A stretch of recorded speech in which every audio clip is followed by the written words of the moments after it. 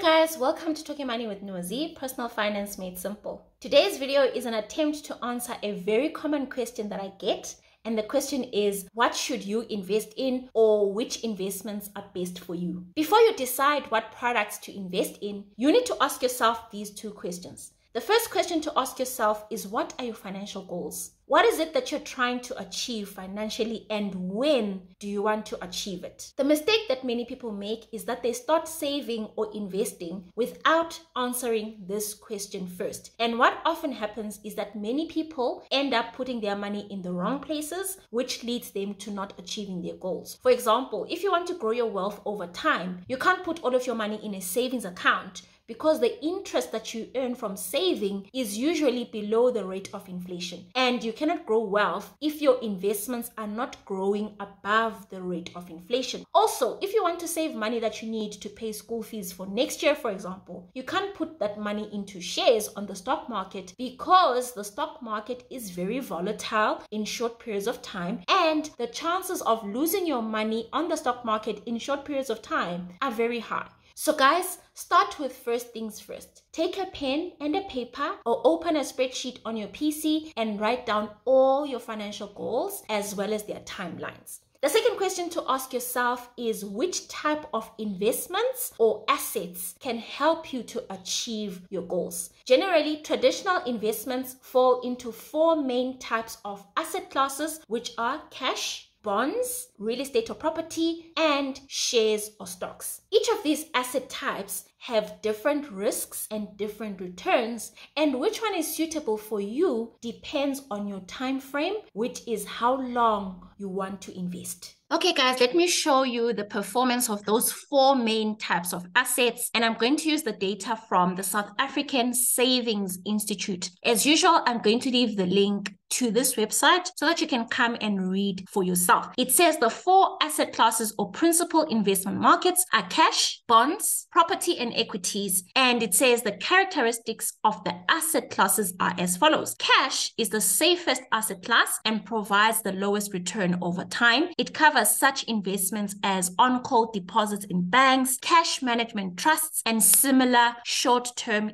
interest bearing investments. Because cash is the safest investment market, it is used as a benchmark against other investments. When cash rates are low, other investments become more attractive and tends to rise in price. Cash tends to have low correlation with all other asset classes. Then it says bonds are also interest bearing investments, but involve a longer period of maturity, usually some years. Government, local authorities, parastatals, and corporate borrow money from investors investors by issuing them with debt instruments called bonds. By holding a bond, an investor is usually entitled to an annual cash interest payment that is fixed at the time of purchase. While this locked in interest rate may seem safer, it actually exposes the investor to more risk. If inflation or short term interest rates go up during the period to maturity, the investor loses out. Bonds are low to medium risk investments and provide low to medium returns over time. Then it says property covers the whole ambit of real estate investments from rural estates to office blocks. It is a medium to high risk asset class with returns proportionate to this risk. Because the property market is generally adversely affected by rises in interest rates, it tends to have a low correlation with interest bearing investments, especially cash.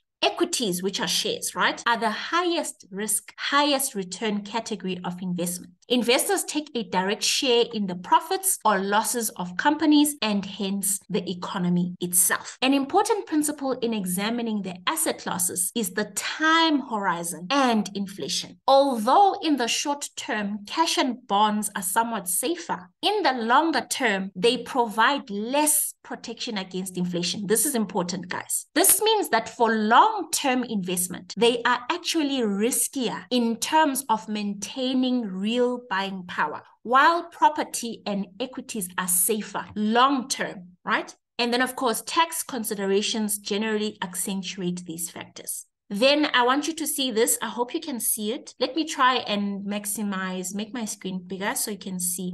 And then it says here analysis of South African experience suggests that over time, the four asset classes are likely to produce the following real returns. So, what is real return? A real return is the return after subtracting inflation. So if you subtract inflation, the returns of cash over the long term is 0 to 1%. So cash is the lowest when you compare it to inflation, right? Bonds give between 1 to 3 percent returns after inflation. Property gives between 2 to 4% returns after inflation. And equities, which are shares or stocks on the stock market, return between 7 to 9% after inflation. So basically, Cash has the lowest risk and the lowest returns and is suitable for money that you need in a short space of time. For example, like in one month, six months, one year, two years, etc. Bonds are low to medium risk and they also have low to medium returns and are suitable for money that you need in the short to medium term, like two to five years. Real estate is medium to high risk with medium to high returns as well and is suitable for growing your wealth for the long term, like 10 years or more, for example. Shares or stocks are very high risk with high returns and are suitable for growing your wealth for the long term, like 10 or more years as well. Now that you know all of this information, it is important to match your goals with the correct asset based on your time frame. And guys, there's nothing wrong with allocating your money to all the different asset classes at the same time as long as you match each goal with the correct asset. Personally, I allocate money to cash, bonds, and the stock market every month based on my different goals. So I save cash for emergencies, holidays, and gifts in my TymeBank Goal Save account as well as my Standard Bank Money Market account. I buy RSA retail top up bonds and I'm going to get back my money plus interest after three years. This money is purely for diversification purposes. And then I also invest in local as well as international ETFs and shares on the stock market every single month. This money is for my financial independence and wealth building for the next 15 to 20 years or so. Now,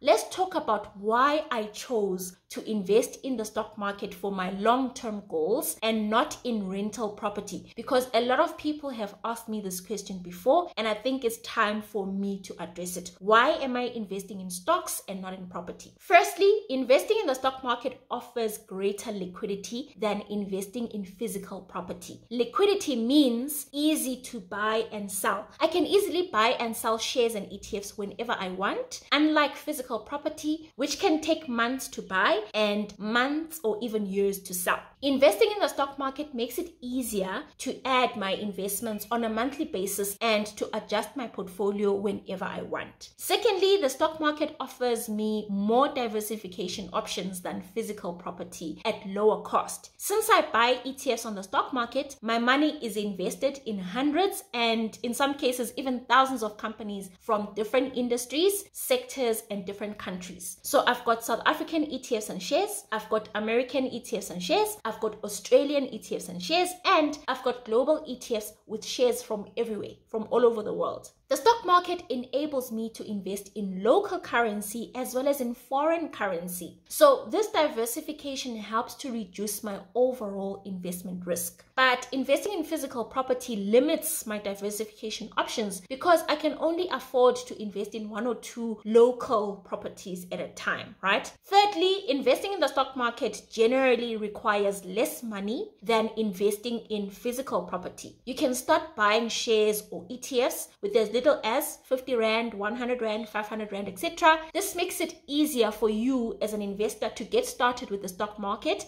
and gradually increase your investments as your income increases. But buying property usually needs tens of thousands or even hundreds of thousands of rands to get started. Lastly, investing in the stock market takes very little of my time, like less than 15 minutes per month to do it, right? I work Monday to Friday, 9 a.m. to 5 p.m., and I have my small business to attend to after work as well. I really don't have extra time to manage anything else. And that's why the stock market is perfect for me with my busy schedule and I'm quite lazy as well. Managing property can be very time consuming and it also costs a lot of money. You need to deal with tenants, you need to deal with repairs, you need to deal with the municipality, etc., which can take up a lot of time. I know that you could hire someone else to manage your property on your behalf, but it's going to cost you money, right? Guys, I am not saying that property is a bad investment. Physical property can be a good investment if you do your research and you've got the time, the resources, and the energy for it. In fact, there are many successful property investors all over the world, right? I just prefer the stock market because you can be a successful stock market investor as well. And we have many examples of rich people who got rich by investing in stocks, right? So before you come at in the comment section. I'm not fighting with property. I am just stating my preference. The important thing when it comes to investing is to do what you're comfortable with. Something that you're going to be able to stick with and keep doing it for the long term, right? If I really wanted to get into property, I would probably invest in property shares and ETFs that are on the stock market because somebody else gets to deal with being a landlord and collecting rent, etc. And I would simply earn